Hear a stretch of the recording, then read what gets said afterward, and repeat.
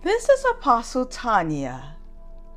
Most marvelously, we have the blessed honor in this generation to declare our love for our blessed Master.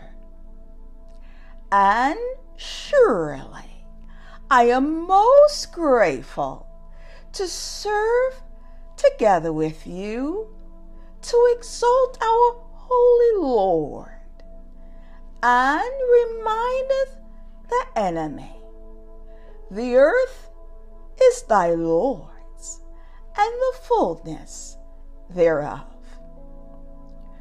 Through the revelatory teachings taught by the Spirit of God through me, and the most glorious supernatural fun experiences that I have spent in the blessed presence of the Master.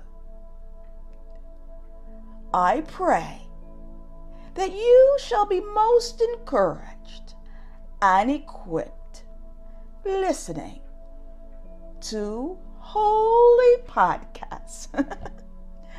I am most surely honored to have you a part of the family.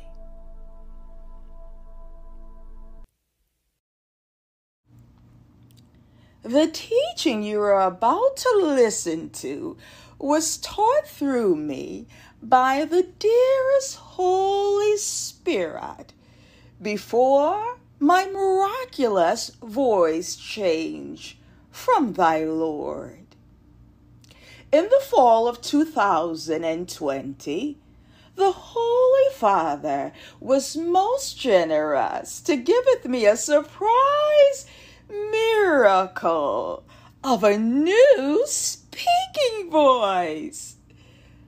And for a season afterwards, this miraculous speaking voice change continued to be stronger and develop into a sound wherewith I gather was the eternal Lord's original intent.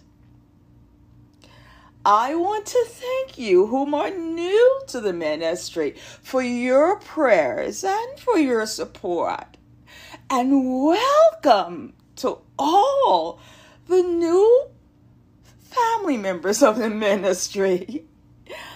I want to encourage you to contact us if you are in need of prayer or are led by the Holy Spirit to serve with the ministry.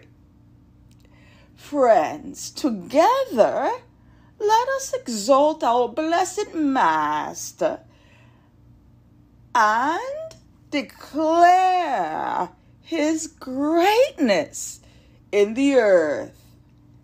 Amen. Now let us move on into why did Jesus trust the Holy Spirit to be a comforter also to us? Well, the answer is perhaps what we see in the beginning. In Jesus' earthly ministry, the Comforter came upon him in the form of a dove after John the Baptist baptized our Lord. This is recorded in the book of Matthew, chapter 3, verse 16 we can see several manifestations in this most glorious account of the baptism of our Lord by John the Baptist.